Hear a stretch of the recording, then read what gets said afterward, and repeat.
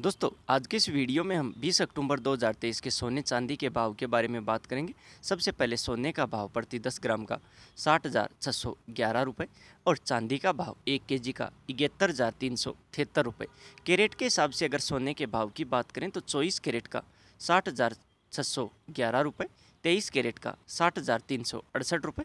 बाईस कैरेट का पचपन हज़ार पाँच सौ बीस रुपये अठारह कैरेट का पैंतालीस हज़ार चार सौ अट्ठावन रुपये ये दोस्तों सोने और चांदी का ओपनिंग प्राइस है